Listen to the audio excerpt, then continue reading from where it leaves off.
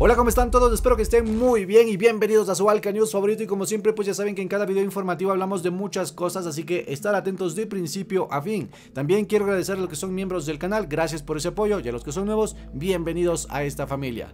Llegó el momento de hablar de lo que son los cambios y más que nada la importancia de los nuevos ajustes que tienen las armas. Si bien es cierto pues ya saben que de aquí a lo que es el lanzamiento esto va a seguir cambiando pero hasta el momento tenemos cambios en algunas armas que ahora mismo les voy a pasar a pero antes hablemos de cosas que en su momento se dijeron que iban a modificarse y ahora mismo tenemos como es el caso de la visibilidad.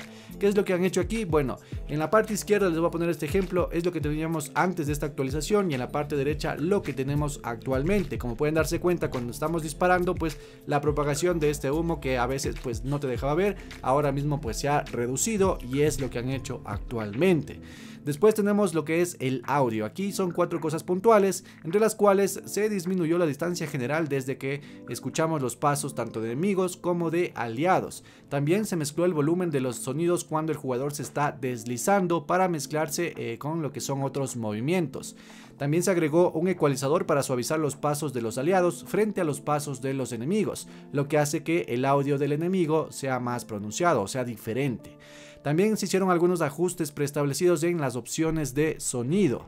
Esto con respecto a lo que son estos cambios. Ahora pasemos directamente a las armas y aquí hay algunas modificaciones. Por ejemplo, en la F-Tag tenemos que se ha reducido lo que es el daño mientras estamos disparando en modo automático. Lo mismo tenemos en el retroceso que se ha aumentado ligeramente cuando está disparando en automático y se ha reducido el daño por disparo a la cabeza. Seguimos con la FSS en donde su daño se ha reducido a distancia y el multiplicador de tiro a la cabeza también se ha reducido.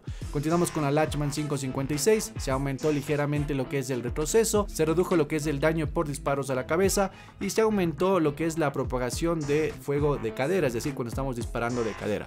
De aquí en más, tanto la M4, la M16 y la Castop 74U se hizo el ajuste de aumentar la propagación cuando estamos disparando de cadera, es decir, habrá mayor dispersión, ya no será tan preciso.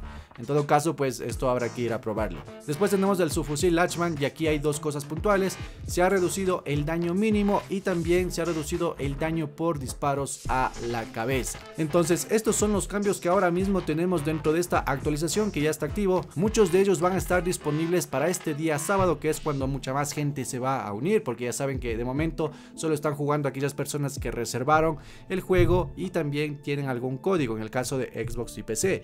Para los que están en PlayStation pues ya saben que se unen todos, pero obviamente para este día sábado y domingo es donde vendrán más cantidad de gente, por lo que la razón es que la beta será abierto para todas las plataformas totalmente gratis.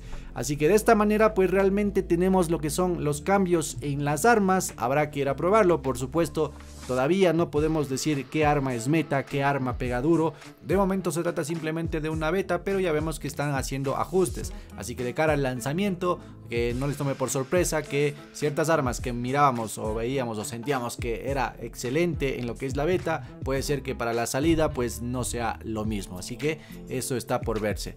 Luego eh, los cambios en lo que son las ventajas, porque también se dijo que iban a hacer algunos cambios. Esto se activará a partir del día de mañana. De momento no está activo. Recuerden que en cuanto a lo que son la obtención de ventajas aumentarían significativamente la tasa de ganancias. Así que todo esto va a estar incluido dentro de esta actualización para el día sábado. El resto pues sí que lo tenemos ahora mismo disponible. Así que bueno señores, esto es lo que tenemos hasta el momento en cuanto a información. Ya saben que cualquier novedad lo estaré subiendo aquí al canal. Activar esa campanita para que no se pierdan nada de esta información. Seguirme por redes sociales. Si quieren apoyarme pueden hacerse miembros del canal. Estaré muy agradecido y por mi parte nos vemos en la próxima con más. Chao, chao.